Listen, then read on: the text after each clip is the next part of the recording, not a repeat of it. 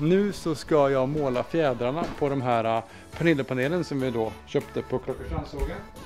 Eh, måla de här för att när trät torkar lite grann så kommer det åka isär lite och då vill vi inte att det ska bli bruna ränder i taket eh, som vi ska måla allting vitt. Och här inne har det ju varit ett eh, badrum som ni vet. Eh, och här inne är det inget tak. Så att det där taket ska vi bygga in här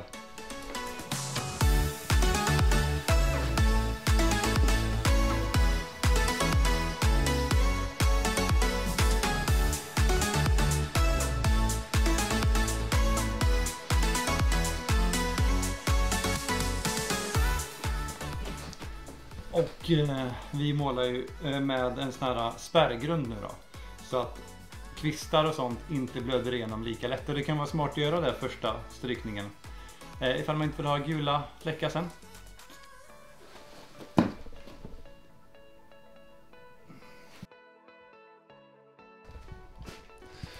Sådär hörni, då är faktiskt alla brädor målade och fjädern är nu vit på alla.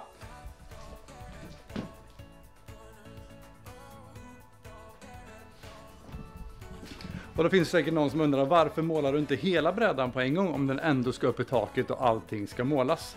Eh, du tjänar ju massa tid på det.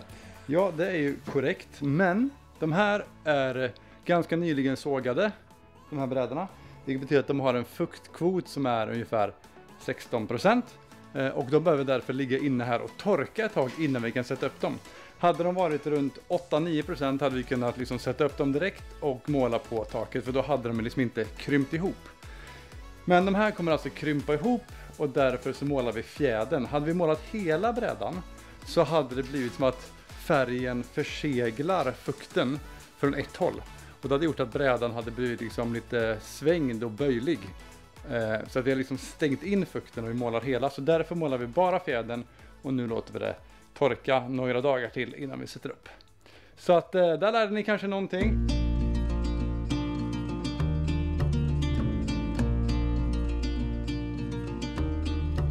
Tjena och god morgon allihopa. Eh, min pappa är här och han hjälper oss att snickra den här veckan. Så han är här hela veckan och hjälper till. Medan jag och Elinor håller på med lite annat så är han här nere och sliter vilket är helt fantastiskt. Och som ni ser så har det hänt en hel del grejer. Och det börjar äntligen kännas som ett rum. Eh, så att ni får följa med här lite små uppdateringar under den här veckan på saker som händer.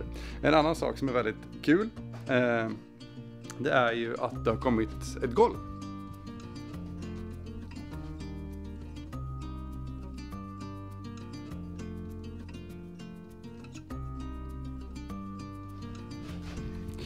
Vi tog till slut beslutet att eh, vi köper ett nytt golv.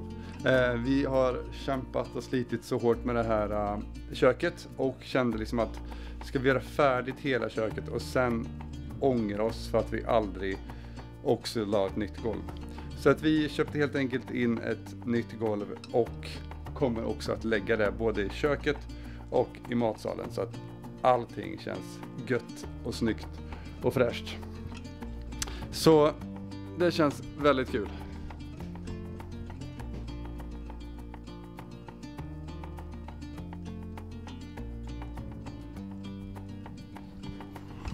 Och det här golvet är också då 45 tjockt som det som ligger där inne i matsalen är.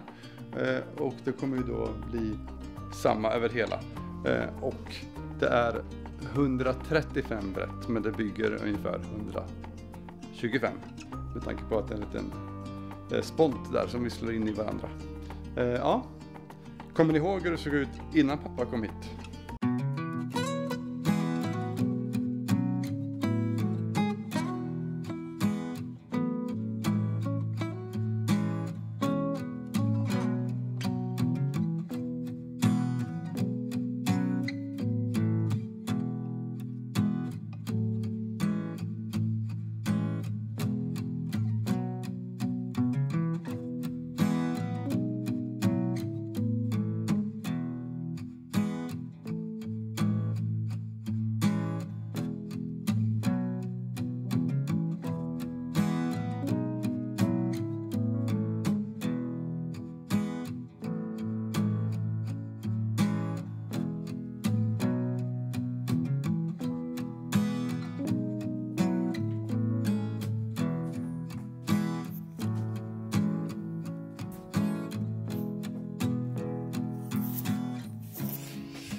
Sådär ser det ut nu efter att pappa har varit här en vecka.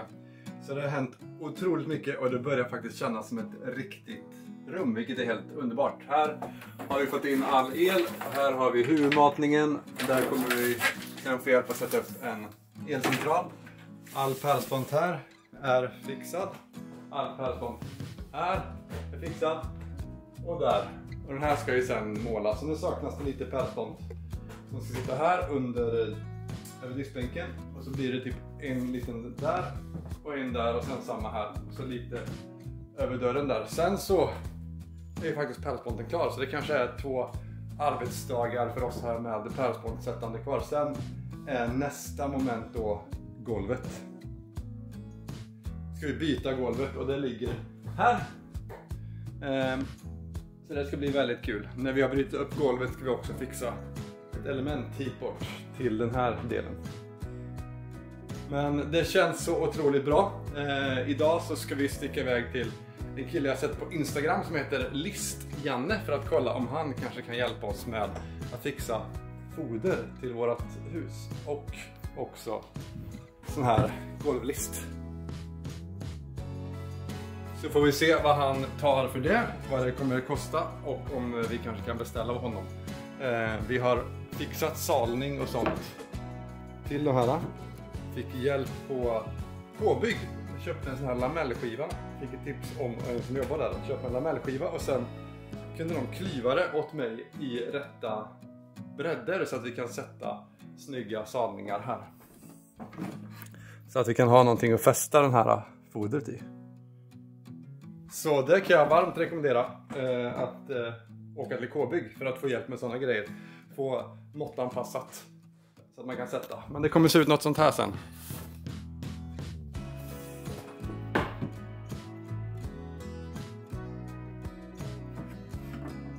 Så det tror jag kommer bli sjukt bra. Ett annat bra tips. När vi köpte den här pälsponten så var den 5 och 10 och vi har ju 2,70 i takhöjd vilket innebär att en halv sån här blir lite för kort egentligen. Och eh, det innebär också att Eh, det blir väldigt mycket spill om vi bara tar en på varje 5 och 10. Men då räknade vi ut så här att eh, vi satte en OSB längst ner som var 13 cm. Och våran golvlist som vi ska ha sen den är 13,5 cm. Så att den här OSBn satte vi längst ner längs hela. Och då får vi en halv centimeter till godo. Eh, vilket gjorde att det också räckte längst upp. Um, och det var också väldigt bra av en annan anledning. Det var att när man väl satte pälsbomben så kunde man liksom ställa den på OSBn.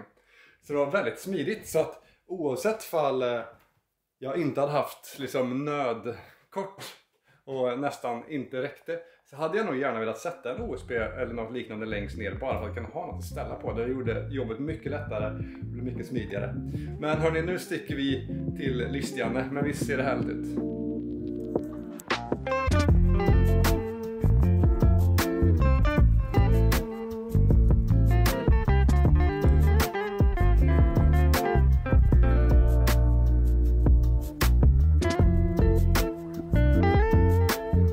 Supertrevlig kille som vi kommer anlita till att fixa foder och gollis åt oss. Och eh, de kommer se ut så här. Eh, vi hade sån tur att vi var uppe på vinden och så hittade lite foder som de har lagt där. Så att jag tänkte att jag ska sätta upp det här runt en av dörrarna här så att vi får se lite känslan av hur det kanske kommer att se ut här framöver. Det jag jobbat mer med nu eh, är ju de här salningarna som eh, vi var och fick tillsågat. Så det här är alltså en sån lamellskiva som är kapad skapad. Och den här behövde vi ha 55. Eh, som de hjälpte oss att kapa 55. Och sen här ute vid den här dörren här till exempel. Är det 45. Eh, som jag har satt nu precis. Så, eh, så går det med det. Sen här är pärlsponten fortsatt. Vi har tagit beslut nu att vi vill ha pärlspont hela vägen. Så även över spisen och eh, så över köksbänken kommer det vara pärlspont. Eh, kanske lite svårare att hålla rent men vi tänker att vi ska försöka hitta på någon schysst eh, plexiglashistoria eller någonting som man kan bara sätta här framför för att lätt kunna torka av. Men det blir en sån bra helhet med hela rummet när allting blir eh, pärlspont tror vi. Eh, vi har inte hunnit börja måla än. Vi ska snart börja måla skällack på alla kvistar för att det inte ska blöda igenom lika lätt. Sen efter det blir det ju Selders linoljefärg som vi kommer pröva. Eh, Frank har varit här och målat taket. Och eh, det krävs en omgång till på det här taket. När han har gjort det här taket, då har han målat det fyra gånger. Och då ska vi gå in på golvet här. Det är väldigt spännande.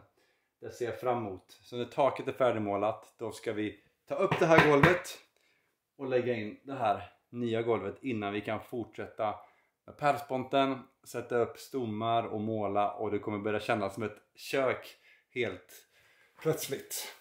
Eh, ja, härligt. Innan jag sätter upp den här tänkte jag bara att jag ska försöka skrapa lite lätt på den så att det inte blir lika mycket jobb sen.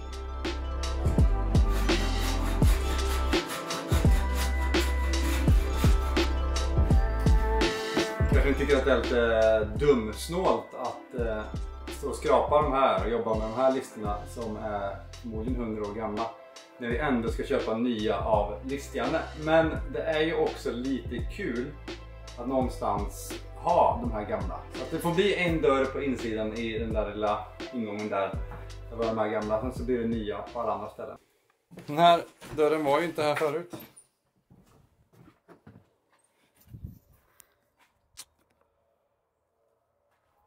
Kommer man in. Förut gick vi in där. Men nu kommer man in här. Pärlsponten tog precis slut.